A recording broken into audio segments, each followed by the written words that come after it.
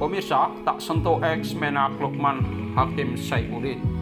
Pemirsa kreator, senyum Roma Hormuji tersungging usai vonis Senin 21 2020. Dia hukum, dihukum ringan karena mengembalikan uang suap 255 juta rupiah.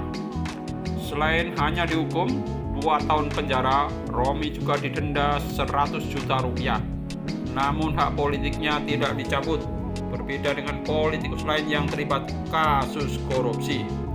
Terlepas dari kontroversi vonis ringan Romney yang menarik adalah pernyataan hakim dalam sidang di pengadilan Tipikor Jakarta.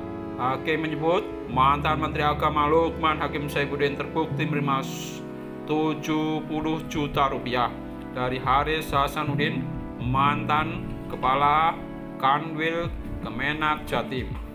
Pemirsa, Lukman menerima uang 700 juta dari Haris melalui ajudannya Heri Purwanto. Uang diberikan dalam dua kesempatan. Pertama, 1 Maret 2019 sejumlah 50 juta rupiah yang lalu.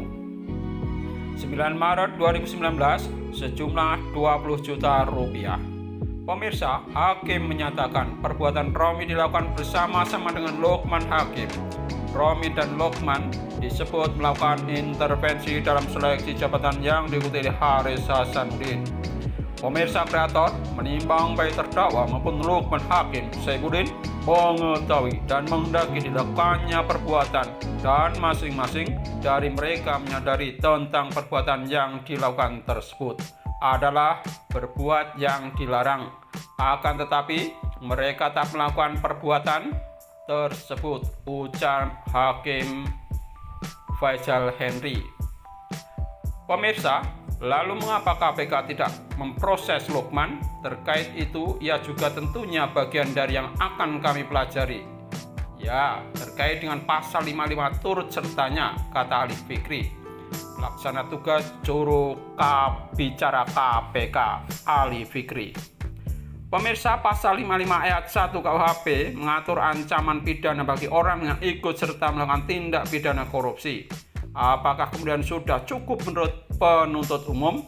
Artinya kan begini, di dalam tuntutan penuntut umum kan sudah mempertimbangkan fakta-fakta yang ada antara lain sebagai bahan majelis hakim dalam memutus terkait dengan pasal 55 Apakah itu berbeda? Makanya itu kami pelajari lebih lanjut fakta-fakta dari putusan majelis hakim terus yang mengkaitkan dengan Pak Lokman oleh Ali. Apabila itu terbukti, Ali mengatakan KPK juga tidak menutup kemungkinan akan membuka penyidikan baru. Namun Ali mengaku saat ini KPK terlebih dahulu akan mempelajari putusan untuk Romi itu. Pemirsa kreator menyampaikan.